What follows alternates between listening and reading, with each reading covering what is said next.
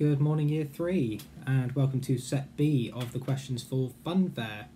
So, again, I'm not going to be reading the text again this time. You have had me read that one in the previous video. Um, if you need me to read that to you, just watch the previous video at the beginning um, and then dive straight back into this one. So, we're going to be going through the questions and seeing how to get the model answers um, and achieve full marks for all of these comprehension questions. Um, so, here we go. Set B questions, vocabulary section number one. Look at the paragraph beginning. Calm down, young man. Find and copy a word that means great pain.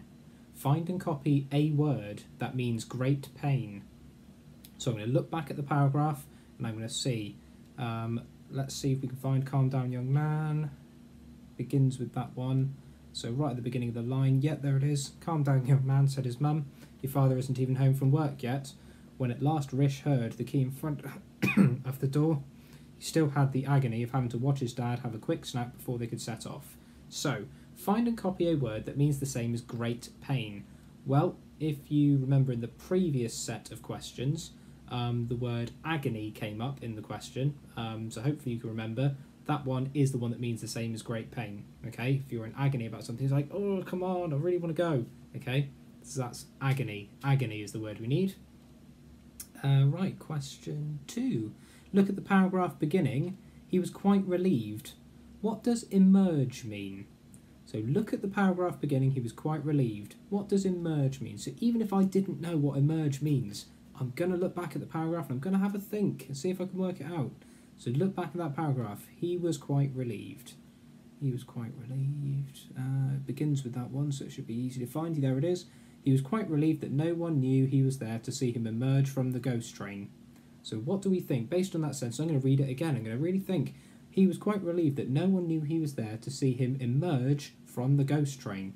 What do I think the word emerge might mean? So, basically, the word emerge um, would just mean to come out from the ghost train, okay? So, like to leave the ghost train, to emerge from it, okay? If you emerge from something, it's sort of like you, if you were sitting down and then you stood up, you've emerged. It means you've sort of got up, you're about to go, okay? So to come out from, something along those lines. Uh, right. Uh, question three? Question three. Um, eventually, he slumped on the floor. Which group of words means the same as slumped in this sentence? Tick one. Tick one. So eventually he slumped on the floor. Which group of words means the same as slumped in this sentence? Now, again, you may know what the word slumped means, you may not. I'm going to use my brain and try and eliminate the ones I don't think it is, and then see if I can make it easier for me to predict which one it should be if I don't know. So, um, what might slumped mean? So, eventually he slumped on the floor. Do you know what I'm going to do? I'm actually going to replace the word slumped with all of these options and see which ones make sense. Eventually, he crawled about on the floor. Could be that. Eventually, he sat cross legged on the floor. Eventually, he sank down on the floor. Eventually, he put his coat down on the floor. Okay, that's a bit tricky because all of those seem to make sense on that one. Hmm, okay, so I can't really eliminate them. Um, but maybe I can think about the context of the sentence. Eventually, he slumped on the floor.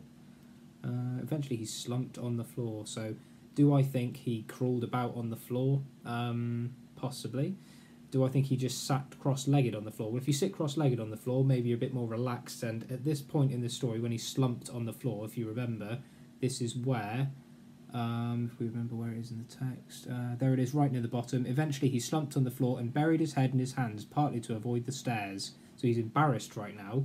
Okay, so I don't think he just sat nicely cross-legged on the floor. I don't think it's that one. Eventually, he sank down on the floor. Well, he's quite embarrassed, so it very likely could be that one. He's, he's sank down. He's like, oh, really sank down, okay? So it could be that one. Or did he put his coat down? Well, I don't remember reading anything about his coat. So, no, it's not that one. So I've managed to eliminate two. It's definitely not sat cross-legged. It's definitely not put his coat down. It's either crawled about or he sank down. Which one do I think is more likely? Did he crawl around on the floor or did he sink down in embarrassment? The answer is he sank down. Okay, he sank down. That is what slumped means anyway.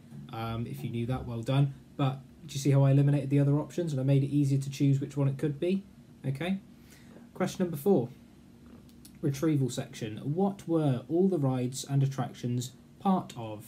This should be really obvious, hopefully. What are they all part of? Look at the title of the text. It is part of a fun fair. it's part of a fun fair.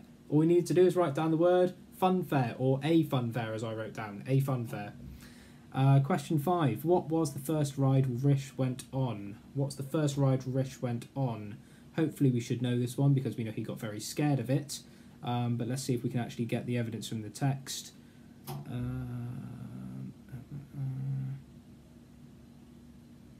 here yet.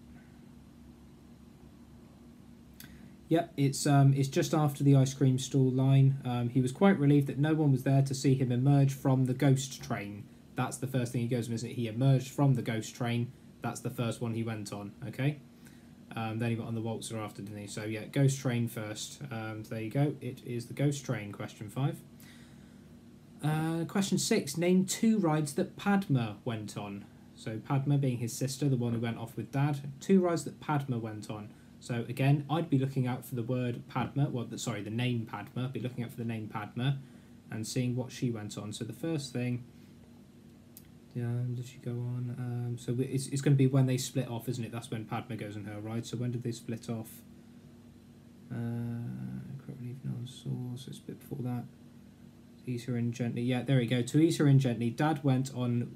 Dad went with her on a very tame merry-go-round. So merry-go-round is the first one she went on. She went on a merry-go-round, and then if you remember at the end, uh, what was Padma saying?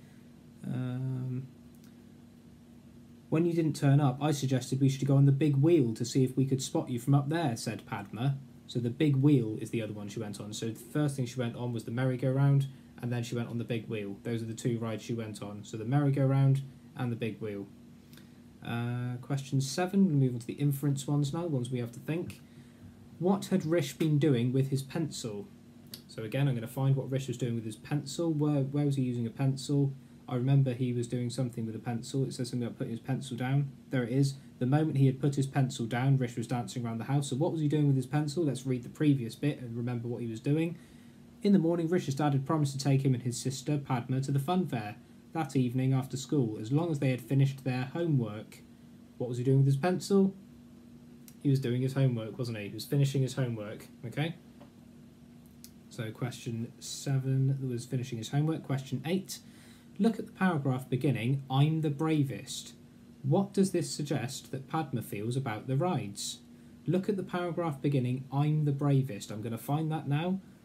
Where is that? I'm the bravest. It begins with that, so it's going to be right at the start somewhere. There it is. I'm the bravest, said Rish as they paid the entrance fee. And the question was, what does this suggest that Padma feels about the rides? What does this suggest that Padma feels about the rides? So it's not going to be something we retrieve from the text. This is when we have to think. What does that mean? I'm the bravest, said Rish as they paid the entrance fee. Why do we think he's saying that? Okay. What does that mean um, about Padma, remember? What does it suggest about Padma? So, not what it suggests about Rish, not about Rish going, I think Rish feels he's the bravest, okay? Nothing to do with that. Is what does it suggest about Padma? Why is Rish saying that to Padma? What's the point? Why is he doing that? Okay, here's what I wrote down. It suggests that she was worried, scared or nervous about them because she held her dad's hand a little tighter when she heard the other people's shrieks and screams. So there's more evidence that we know that. Okay, that's why Rish is saying he's trying to show off, isn't he? Okay, and he's suggesting that his sister is really scared of all the rides. That's the point, isn't it? So that's why um, it says, I'm the bravest. What does it suggest about Padma? It suggests that she is scared of the rides. That's what it suggests. Okay? So, it's always about reading the question carefully. What does it suggest about Padma, not what it suggests about Rish? Question 9. Why did Rish feel uncomfortable? Why did Rish feel uncomfortable? Now, I remember reading the word uncomfortable, so I'm going to find that somewhere. Where did it say uncomfortable? There it is, next to the one with the picture of the ice cream stall, that paragraph there. Uh, if you look in the middle of that paragraph somewhere, he was beginning to feel uncomfortable. So, why was he feeling uncomfortable? I'm going to read the whole thing again just to make sure I understand. The minutes dragged by as he lingered around the ice cream stall. Where were they? Had they forgotten him? Was he imagining it, or were some people eyeing him in a funny way? He was beginning to feel uncomfortable. Okay? So, why was he feeling uncomfortable? He was feeling uncomfortable because people were eyeing him in a funny way, weren't they? So, I wrote down because people were looking at him. That's fine. That answers the question, isn't it? because people were looking at him. It also says about partly to avoid the stares. I could have put they were staring at him, okay, or eyeing at him. That's it's the same thing, isn't it? Okay. So something about people looking at him. Question number ten. Summarizing. Using the whole text, tick one box in each row to show whether each statement is true or false. So, using the whole text, tick one box in each row to show whether each statement is true or false. So, let's have a look. Padma was excited about the fun fair. Well, I can actually remember this one, and I can remember because I've already just said it previously. She was holding her dad's hand really tightly, wasn't she? What does that suggest? It suggests that she was scared of the rides. So, was she excited about the fun fair at the beginning? No, she wasn't. Remember, it says look at the whole text, not just the end bit where she is excited because she's enjoyed it. It's the whole text. She was not excited about the fun fair. That is false. Okay, she was scared of the rides at the beginning, and we know that suggested it because Rish suggested that he's the bravest. So, next point. They made a good plan about where they would meet up. They made a good plan about where they would meet up. Well, we've got to think did the plan work? What was the plan? Can you remember what the plan was? Where did they plan to meet up? Well, I've said it multiple times because there's a picture of it as well. It is the ice cream store they plan to meet up. And did that work out? Did they manage to meet there successfully? Did that go all right? Let's have a look back.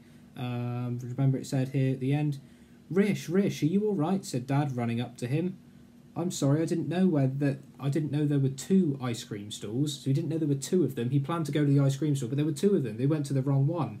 Okay, they met him at the right. They went to the wrong one. Dad and Padma went to one of them. Rish went to the other, and he was waiting ages. So they got lost and separated. So no, that was not a good plan, was it?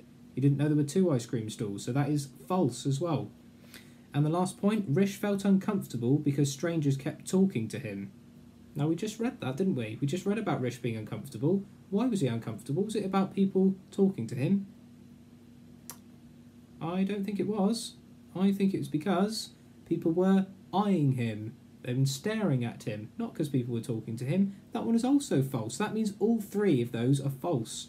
Okay, none of those were true. All those statements were false. So there you go. Question number 11 authorial intent. So these are the ones that are a bit more tricky because we have to think what did the author mean by writing that? Let's have a look. Tossed around like a sack in a washing machine. Explain why the author used this simile. Why did the author use that simile? Tossed around like a sack in a washing machine. So, what did that describe? Um, first thing I'm going to do is I'm just going to look back in the text and find where it said that so I get the full context of tossed around like a sack in a washing machine. What was tossed around like a sack in a washing machine? Um, I find that. There it is. Um, it's the paragraph above the picture that has the picture of the ice cream stall. It's the paragraph above that. Let's read the whole paragraph again. He was quite relieved that no one was there to see him emerge from the ghost train. By the time he had staggered off the waltzer, having been tossed around like a, like a sock in a washing machine, he was feeling rather wobbly. So that's the point he's trying to make there. So it's the fact he's on the waltzer and he's being tossed around like a sock in a washing machine. So why did the author write like a sock in a washing machine? What's the point of that simile? What does that tell me? So it tells me that um, here's what I wrote down because it suggests that he was going around and around being thrown about uncontrollably. Okay, it also helps the reader to imagine how he felt. Okay, so if you imagine a sock in a washing machine that's being thrown around like this, it describes perfectly what the waltzer ride is like, isn't it? It's throwing you round and round and round, so he feels like a sock in a washing machine. Remember what a simile means? A simile is a word that is similar to something else, so that's what it's like. It's like he is in a washing machine being thrown around.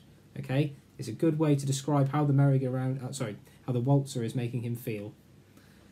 Okay, um, last question, question 12. Compare question. How does Padma's mood change throughout the story? So, yesterday we looked at how Rish's mood changed throughout the story. Now, Padma's is interesting, isn't it? Because she's almost gone the complete opposite of what Rish went through. So, Rish started off being, oh yeah, I'm the bravest, and at the end he was all wobbly and shaky and nervous. Padma's gone the other way around, hasn't she? She's gone from the beginning to being holding her dad's hand, really nervous, to oh yeah, you should have come on the um, merry-go-round with us. It was, you know what I mean? So um, that's the whole point, isn't it? Okay. Uh, sorry, not the was it the merry-go-round or the big wheel? I can't remember now. Just check the text. Uh, big wheel, sorry, big wheel, not merry-go-round. Yeah, I thought it was. Yeah, I thought I had that wrong. Um, yeah, so she's changed the opposite way. So here's what I wrote down as my model answer. At the beginning, Padma is scared and nervous. At the end, she feels pleased, pleased with herself about thinking of a way to spot Rish. She's also no longer scared and wants to go on more rides because that's what she says at the end, isn't it? She says she wants to go on some more, but Dad says maybe next time. Okay? She says, Can we have another go, Dad? Because she's really excited now, isn't she? So she's gone from being really scared to now, Oh no, I want to go on some more rides. Okay? So, well done. That's the end of set B of those uh, questions for the fun fair. So I do hope you enjoyed both of those. Um, so, keep working hard. Tomorrow we're going to have a new text coming up and uh, we will do the same procedure there. So for the next two days after that, we're going to be doing set A, um, and then uh, the day after that, we'll be doing set B. Um, so there we go. Thank you very much, everyone. Take care and have a great day.